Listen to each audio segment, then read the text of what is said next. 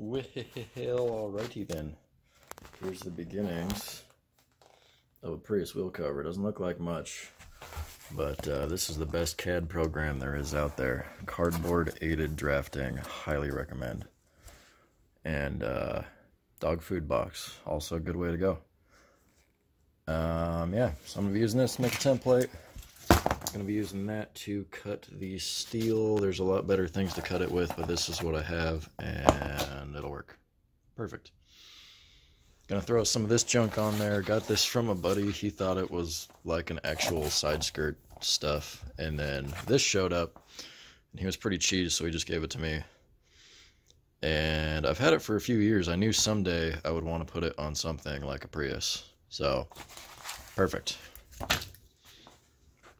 Um, I was going somewhere else with this, and I don't remember where that was. So, let's cut to something better.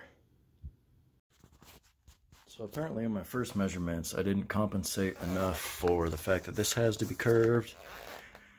And my length was a little too short, and the pieces of steel that I got were the exact length that I measured.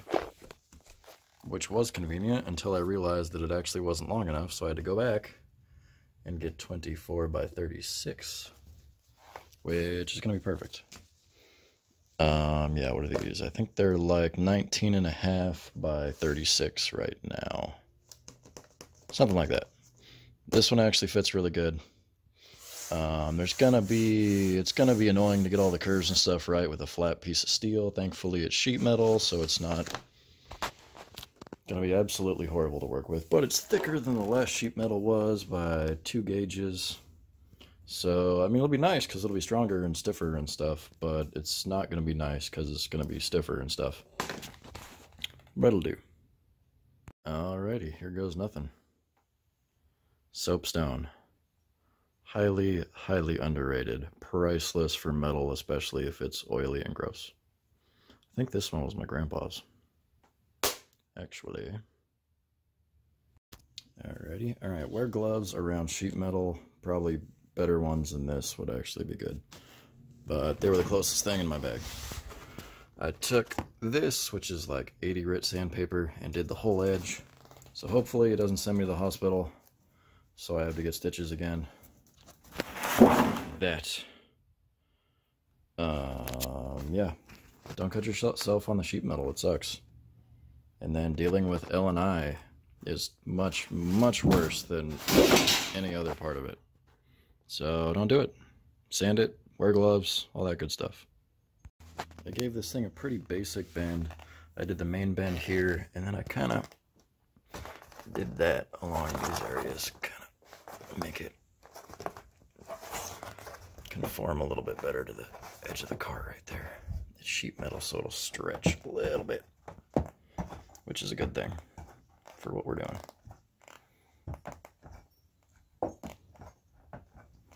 Then I got a little tab down here for the back side. I think I'm to, not 100% sure, but I might get, take a little screw, screw it through there into that plastic trim on the bottom, maybe even a nut and a bolt, who knows.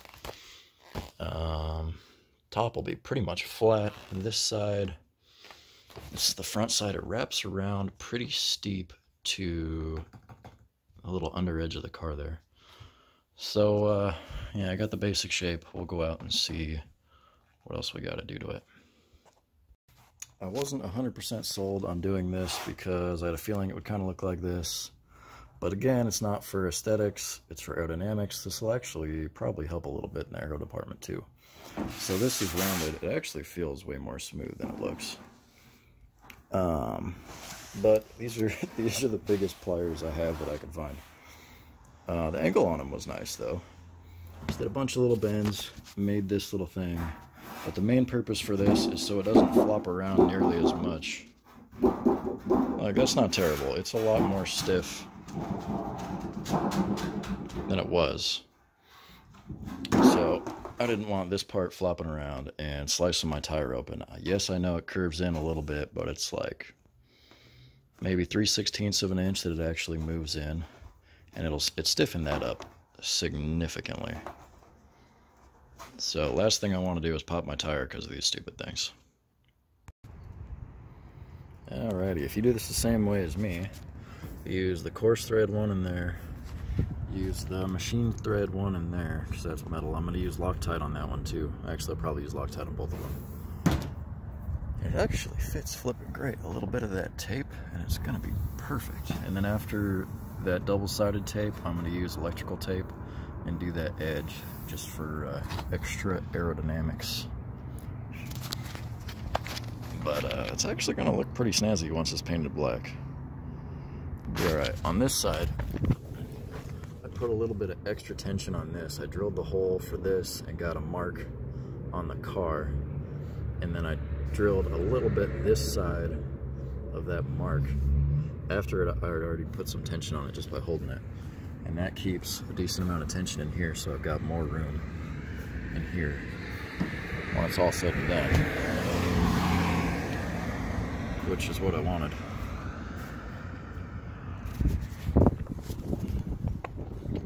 Sweet. There's already a bunch of dirt in it, but uh, I mean, it's pretty glassy. It's not perfect, but it's not terrible. This one, I've got the dust coat on. Always, always do a dust coat, or else your stuff's not gonna paint as well or stick as well. It actually turned out pretty good. It's actually really flat. That one's got a few dings in it from the sheet metal days, but whatever and some dirt.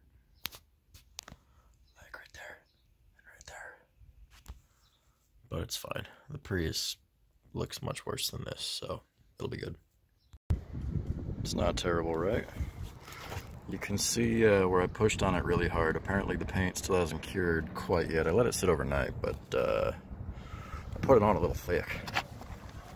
It actually mates really well. Right there, the seam's really good. Right there, I should have moved the tape in a little bit. But it's all right. Right here, there's a dent. So I'll do what I can, but there's not a lot I can do. It's pretty good, honestly.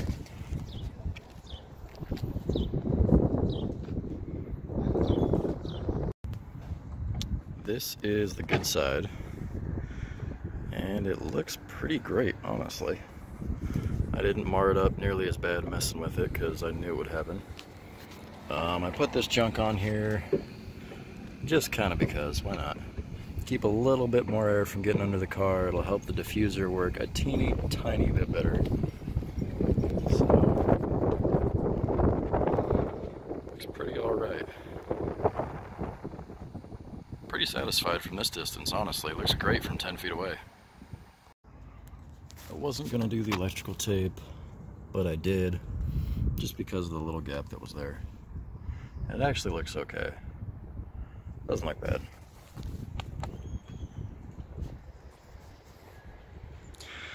There it is.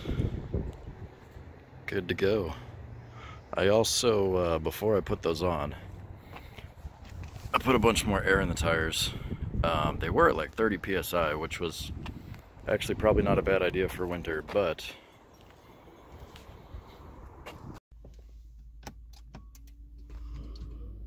Right, so as soon as it loads, lately I've been just driving this thing mostly around town. Wow, that's dusty. And the mileage is pretty bad but my tires have been about 30 psi. I put air in them before I put those covers on because I knew it would be a pain afterwards. Um, that was pretty good for winter, but for the summer I bumped them up to 45. And I'll tell you what, I can tell a difference just in the ride. It's way stiffer and it coasts a lot better. So that alone is going to offset the mileage so much that I'm not even going to notice or be able to measure what uh, the little wheel covers did. So uh, yeah, but like I said, they're mostly um, to help out the diffuser and hopefully that'll make a difference. Do a little bit of something, something. We'll find out. Well, I've arrived in Tacoma seemingly everything is in one piece. I'll do a walk around the car and I'll show you after I get back to Bremerton, but it's pretty good. Um, before doing a trip between cities in this car, I'd usually average like 46. I could get 50 something if I was really driving smart. And there was no traffic or hills or anything and it was a good route but uh, there's a lot of hills. I was doing about 67 the whole way. This includes city driving on both ends and I was driving like I normally do which is not for fuel efficiency I survived Alright, so 48.8 MPG, it feels like you're coming downhill this way, which is not true because they're both pretty close to sea level. Um, yeah, got a little better mileage this way, 65 miles total, so used, what, slightly over a gallon? Gallon and a fifth-ish.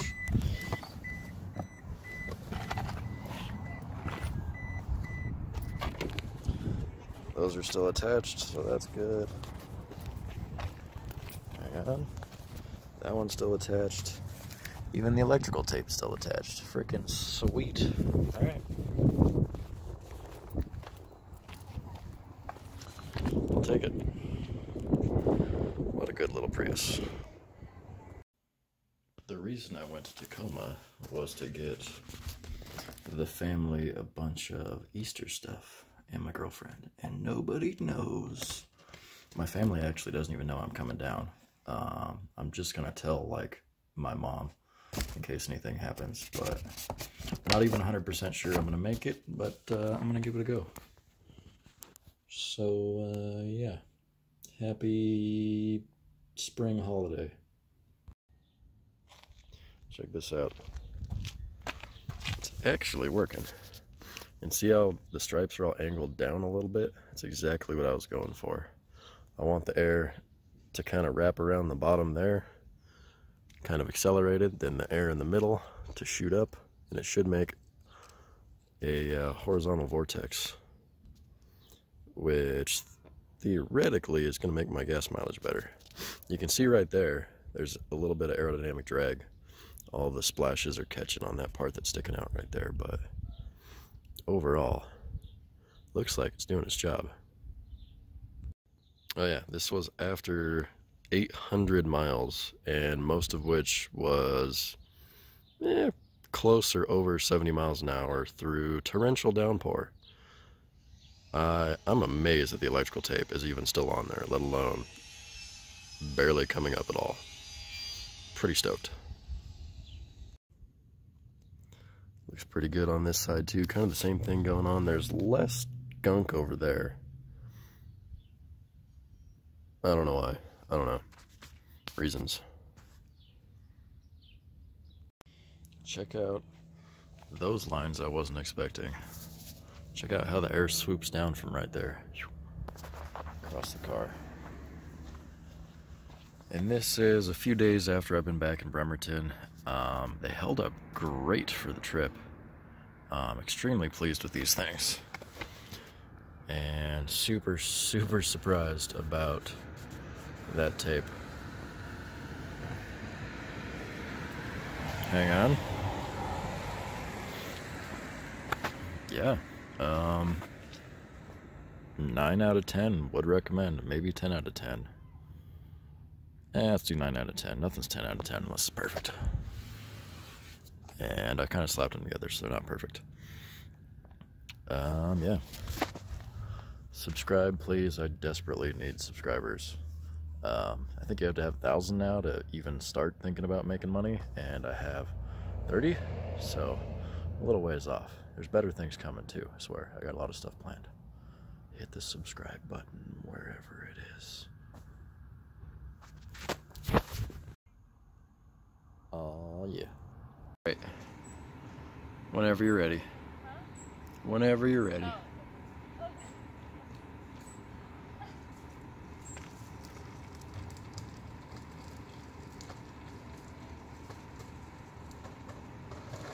Yeah. Perfect. Nice and stable and smooth. Let's do it. Oh, maybe not. We got it. Ah. thank